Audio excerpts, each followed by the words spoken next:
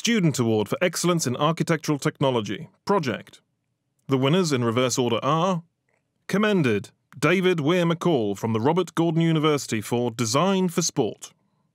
This project looks at Commonwealth venues and reimagines them with a focus on post industrial brownfield sites. David's ambitious design of an iconic landmark building draws upon new technologies to create an innovative functional space and is well contextualized. David is unable to attend, and his award will be presented at a separate event. Highly commended. Mark Irwin Childs from Nottingham Trent University for Nottingham Aquatic Centre, The Whale.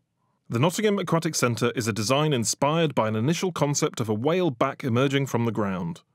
Mark's is a very exciting concept with an ambitious design and an excellent idea that creates an innovative external envelope and internal environment. A stunning design which really pushes the creative innovation of the criteria. Highly commended, Matt Padley from Sheffield Hallam University for Eco Education Centre. A landmark eco education centre which allows visitors of all ages to learn about sustainable technologies and green building design. This is an interesting and considered scheme which sits well in a waterside context. Matt's detailing is excellent for a workable design solution that draws upon the site location and position to utilise the external environment and integrates this into the fabric of the building.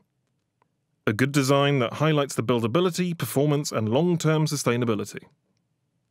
Winner Tony Buck from Sheffield Hallam University for Dearne Valley Eco Centre.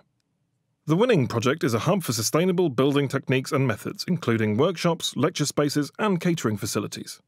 Tony has put together a great concept, excellent presentation, and technically competent details.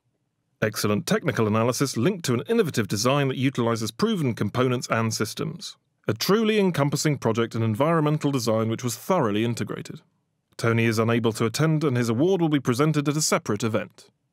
The winning university is Sheffield Hallam University.